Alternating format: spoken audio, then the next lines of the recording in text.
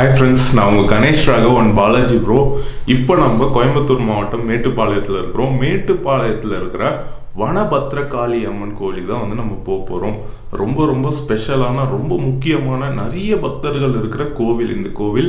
அந்த கோவிலுக்கு போயிட்டு அந்த கோவில் பற்றியான விவரங்கள் அந்த கோவிலில் என்னென்ன சிறப்பு அது மட்டும் இல்லாமல் அந்த கோவிலை எல்லாம் உங்களுக்கு சுற்றி காமிச்சு உங்களுக்கு இந்த வீடியோவில் தரப்போகிறோம் நீங்கள் நம்ம சேனலுக்கு புதுசாக இருந்தீங்கன்னா என் பேர் கணேஷ் ராகவ். நிறைய டெம்பிள் அண்ட் ட்ராவல் vlogs பண்ணிகிட்ருக்கேன் எல்லாமே வந்து பார்த்தீங்கன்னா ஃபர்ஸ்ட் பர்சன் பாயிண்ட் ஆஃப் வியூவிலேருந்து நீங்களே அந்த இடத்துக்கு போய் பார்க்குற மாதிரி இருக்கும். உங்களுக்கு ரொம்பவே பிடிக்கும். சப்ஸ்கிரைப் பண்ணலன்னா சப்ஸ்கிரைப் பண்ணிவிட்டு பெல் பட்டன் அழுத்திக்கோங்க. வாங்க வீடியோக்குள்ளே போகலாம் வனபத்ரகாளி அம்மன் திருக்கோவில். இவ்வளவு அழகாக இந்த கோவில் இருக்கும்னு நான் எதிர்பார்க்கவே இல்லை. அவ்வளவு அழகு. அவ்வளவு அழகுங்க. இந்த கோவில் மேட்டுப்பாளையத்துலேருந்து தேக்கம்பட்டிக்கு போகிற வழியில் நெல்லித்துறைன்ற கிராமத்தில் இருக்குது இது நெல்லித்துறைன்றதுனால நெல்லி அப்பர் இங்கே கோவிலுக்குள்ளே இருக்கார். வனபத்ரகாளி அம்மன் இருக்காங்க. ஏன் வனபத்திரகாளி அம்மன் அப்படின்னு பேர் கேட்டிங்கன்னா எட்ஜ் ஆஃப் த ஃபாரஸ்ட்டுன்னு சொல்லுவாங்கங்க. காடோட துடக்கம் அப்படின்னு சொல்லிட்டு சொல்லலாம். காடோட முனைன்னு சொல்லலாம். அவ்வளோ அழகாக இருக்கும். நீங்கள் எந்த காடு எடுத்தீங்கனாலும் அந்த மாதிரி ஒரு இடத்துல இந்த கோவில் இருக்குது இந்த அழகுக்கு அழகு சேர்க்குற விதமாக பின்னாடி ஒரு மலை சைடில் பவானி ஆறுன்னு சொல்லிட்டு அருமையான கோவில்னு சொல்லணும் இந்த வனபத்ரகாளி அம்மன் கோவில். அது மட்டும் இல்லாமல் எந்த கோவிலுக்கும் இல்லாத தனி சிறப்பாக இந்த கோவிலில் காவல் தெய்வமாக பகாசுரனும் பீமனும் இருக்காங்க. பகாசுரனுக்கும் பீமனுக்கும் ஒரு போர் வந்துச்சு சண்டை வந்துச்சு உங்களுக்கு தெரியும். மகாபாரதம் படிச்சிருந்தா அந்த சண்டைக்கு இந்த இடத்துல தான் நடந்தது அப்படின்னு சொல்லிட்டு சொல்கிறாங்க அந்த சண்டைக்கு போகிறதுக்கு முன்னாடி பீமன் வந்து இந்த வனபத்ர காளி அம்மனை வணங்கி சண்டைக்கு போனார். அந்த சண்டையில் வெற்றி பெற்றாரு. பகாசுரனை வதம் பண்ணிட்டாரு. பகாசுரன் இறந்த அப்புறம் கஷ்டப்படுறாரு. நம்மளும் வந்து இந்த அம்மனை வணங்கியிருக்கலாம் அப்படின்னு சொல்லிட்டு அதனால் அந்த அம்மன் கிட்ட வணங்கி அவங்களுக்கு காவல் தெய்வமாக இங்கே இருக்காங்க.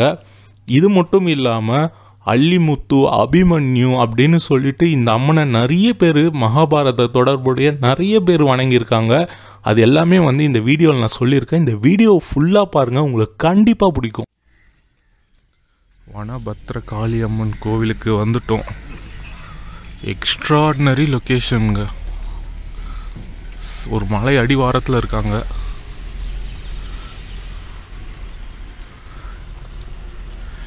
இங்கே அம்மனோட காவல் தெய்வம். ஐயனாரா கருப்பண்ணசாமியான்னு தெரியல போய் பார்க்கலாம். முன்னாடி ஒரு மொட்டை கோபுரம் இருக்குது இங்கே பூக்குண்டம். அது ரொம்ப ஃபேமஸ்ஸு தீமிதி திருவிழான்னு சொல்லுவாங்கள்ல அது இங்கே இருக்குது பாருங்கள் முன்னாடி நான் போய் காட்டுறேன். பிரமிப்பாக இருக்குங்க.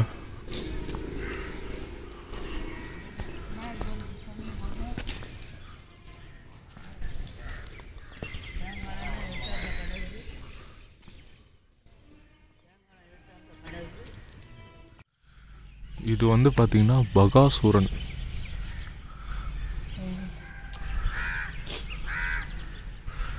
இவங்க வந்து யாருன்னு தெரியல. நம்ம உள்ளே போயிட்டு டீட்டெயில் கேட்டுட்டு வந்து சொல்கிறோம் இவர்கிட்ட கேட்டோம். அவர் குந்தின்றாரு பீமன்றாரு. கரெக்டாக தெரியல. மகாபாரத கதையும் ஒன்று இங்கே தொடர்புடையது இருக்குது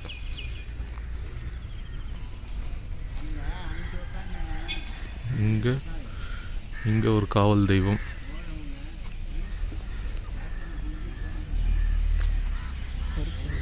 மொட்டை கோபுரம் இது. இங்கே பாருங்கள் இதுதான் வந்து பார்த்தீங்கன்னா குண்டம்.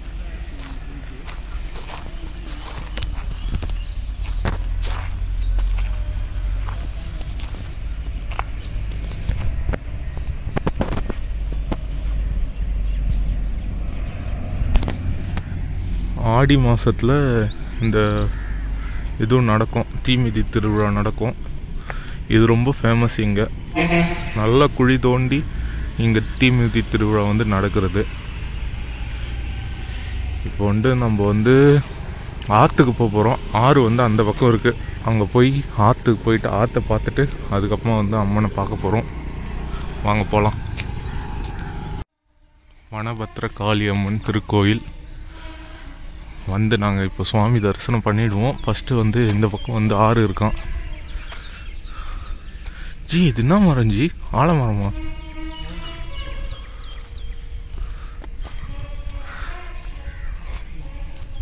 இதில் ஃபுல்லாக ரெட் கலரில் ஒரு பழம் தொங்குது பாருங்க. செரி மாதிரி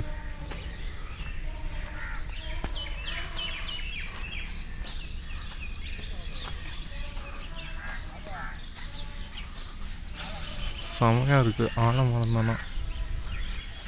இங்கே ஒரு அரச மரம் சுற்றி நாகர்கள்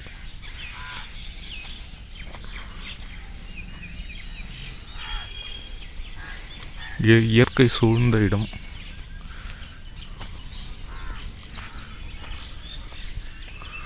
பொங்கல் மண்டபம் இருக்கு.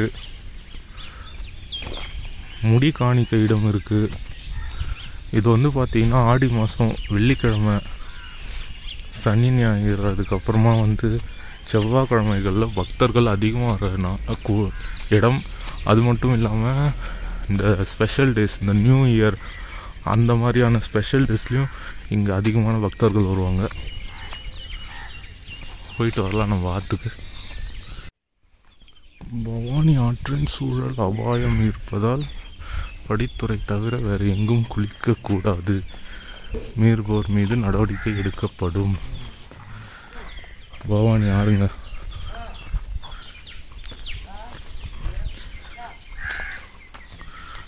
ஓ.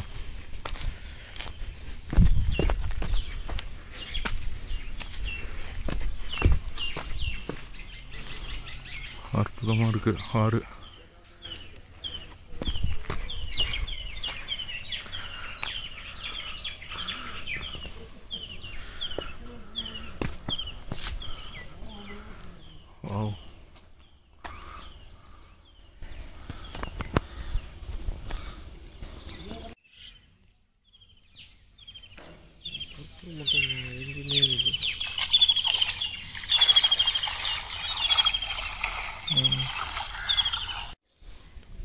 பார்த்து பார்த்துட்டு கோயில் கிட்ட வந்துட்டோம். கொடிமரம்.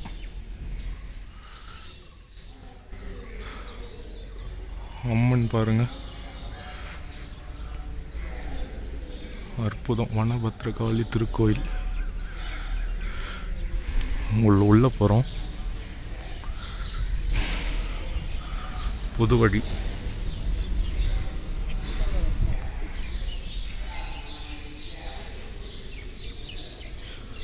அங்கே தான் சுவாமி சன்னதி. நாங்கள் போய் தரிசனம் பண்ணிட்டு வரோம்.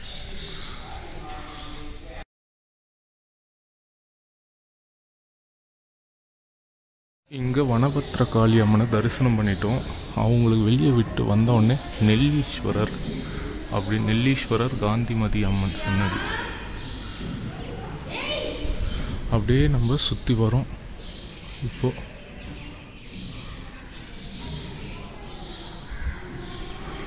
தக்ஷணாமூர்த்தி. இது நெல்லீஸ்வரரோட வி விமானம்.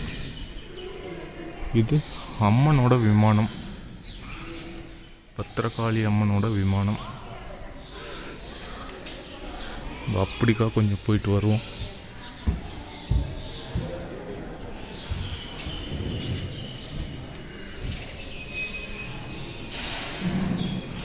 அதிகமாக கூட்டம் வர கோவில்.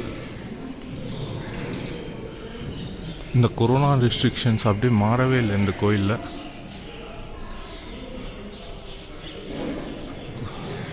விமானங்களில் சுதை சிற்பங்கள்லாம் காளி அம்மன் தான் இருக்காங்க. இந்த பக்கம் இந்த பக்கம். உக்ரதேவியா.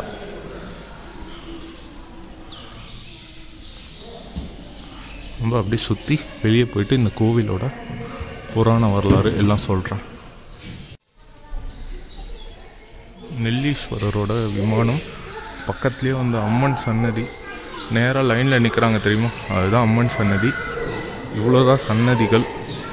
சின்ன கோவில் ஆனால் ரொம்ப சக்தி வாய்ந்த அம்மன். அம்மனோட விமானம் பாருங்கள்